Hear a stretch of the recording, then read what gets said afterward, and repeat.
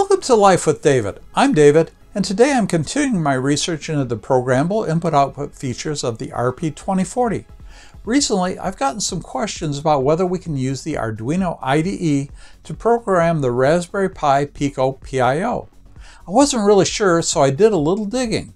So why don't you join me as we explore whether the Arduino IDE can be used to program the PIO features of the RP2040.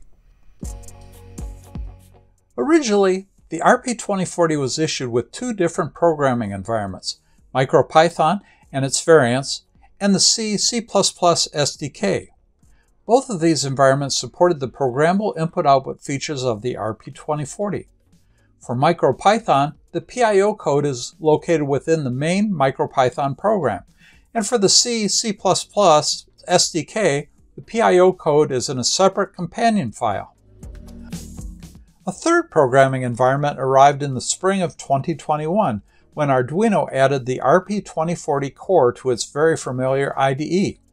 A huge advantage is that there are countless sketches that have been written for Arduinos that can now be used for the RP2040 with only minor modifications. However, adding PIO capabilities is a work in progress. Let's give it a try. First, I'll make sure that I have the latest version of the Arduino IDE installed, which is 1.8.19 as of the date of this video. I uninstalled my old version and installed the most recent version using the Windows installer. I avoided using the Windows app since several websites noted that using the RP2040 with that version was a little flaky. When we open the IDE, we find that the RP2040 isn't one of the boards that's supported right out of the gate. We have to add an RP2040 core from Earle Philhower I'll put a link in the description below.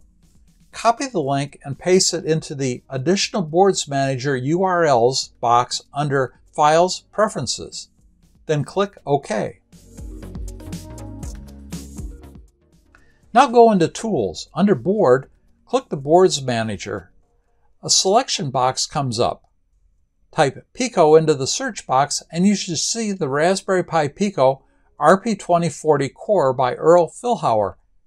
Click the Install button and after a minute or so, the core should be installed. Close out the IDE and reopen it. Click on Tools and Board and the RP2040 should be visible.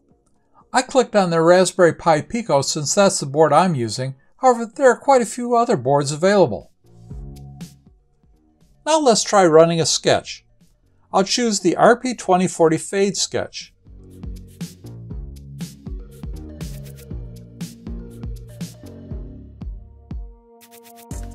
Before I click the Upload button, I hold down the Boot Select button of the Pico and plug in the USB connector.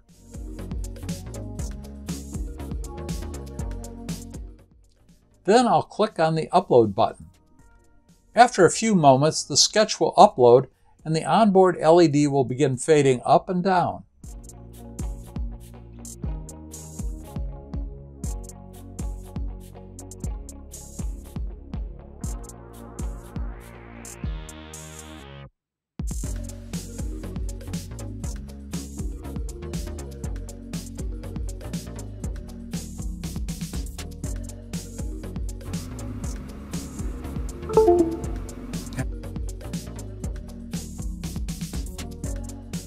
Now let's try an Arduino supplied sketch.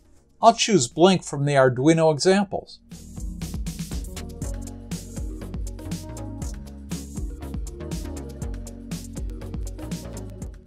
After uploading the sketch, the Pico begins blinking. Note that both of the previous sketches use the standard functions of the RP2040 but don't use the PIO.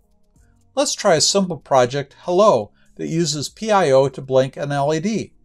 This is an Arduino variation of the Hello PIO program provided by Raspberry Pi in their Pico examples download for the C, C++ SDK. There are two parts to the program, the main sketch and the PIO program. I'll put a link in the description to my GitHub page where you can get both parts. I'll start first with the C part since that will create the file structure that we'll use for developing this program. Open the Arduino IDE and select New Sketch.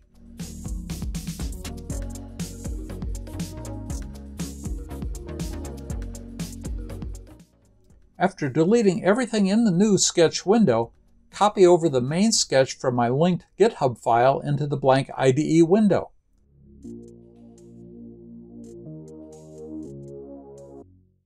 Then save that file and note the path since we'll be saving our PIO program there also.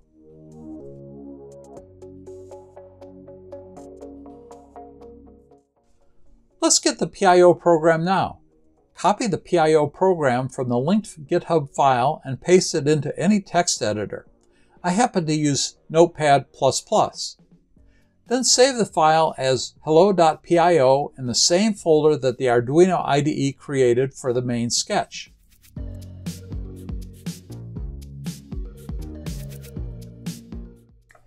Now we have both parts of our hello program in the same directory. However, the Arduino IDE doesn't use the PIO program as is. A header file must be created first by using a specially compiled version of pioasm.exe. Until recently, you had to compile PIOASM yourself, which is almost as complicated as letting the C, C++ SDK do the entire compiling and building of the PIO program. However, within the past few days, as of the end of February 2022, Earle Philhower has included a compiled version of PIOASM in his installation package. You can get to it by going to the Arduino IDE File Preferences and clicking on the link to the additional preferences. This will take you to the installation folder. Search for PIOASM and it should show up deep under the packages slash RP2040 directory.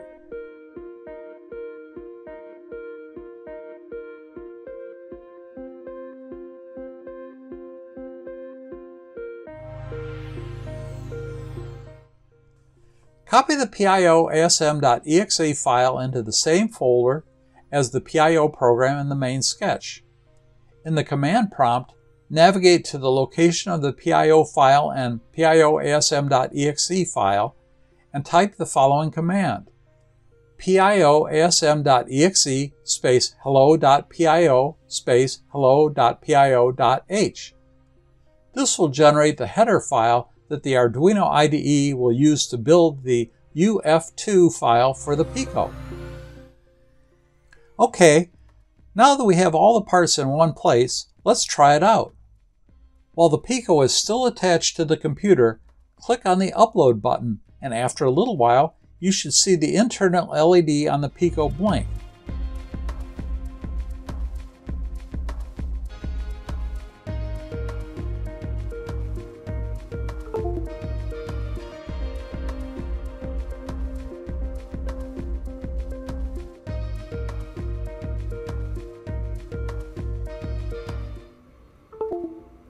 Now that it's working, let's go through the programs to point out the differences. First, we'll look at the PIO program. It's exactly the same as we would write for the C, C++ version, the same structure and the same syntax.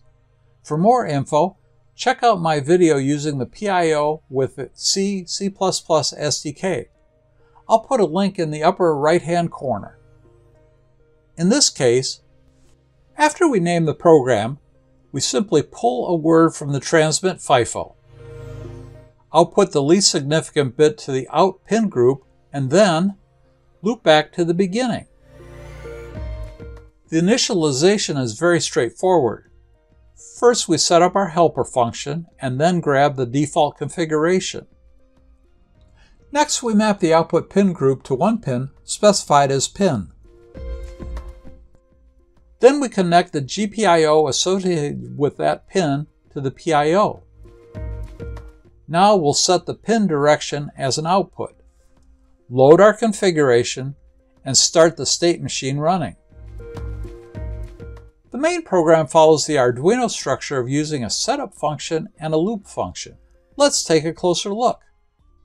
Before the setup function, we'll first include the PIO library and the PIO header file we just created. Then I'll set the PIO block to 0 and define the global variables. Then, in the setup function, I'll add the PIO program to the PIO Block 0 program memory, claim a state machine, and instantiate the state machine using the helper function. In the loop function, we'll send a 1 to the transmit FIFO, which will turn on the LED, and then sleep for 5 seconds. Next, we'll send a 0 to the transmit FIFO, turning off the LED, and then sleep for another 5 seconds. Then we loop back to the beginning and do it all over again.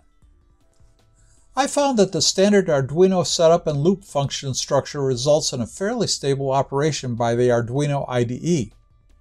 I tried using the Raspberry Pi version of Hello PIO, which doesn't fit the Arduino standard, and found that the program will run once. However, it blows up the interface between the Pico and the Arduino IDE, disabling the IDE. I was dead in the water until I discovered a workaround where I load MicroPython into the Pico to realign the communications ports.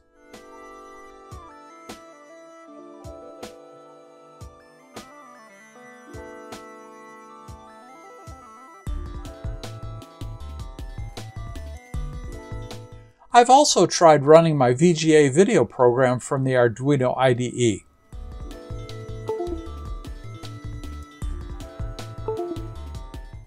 No joy there, and again it blew up the interface.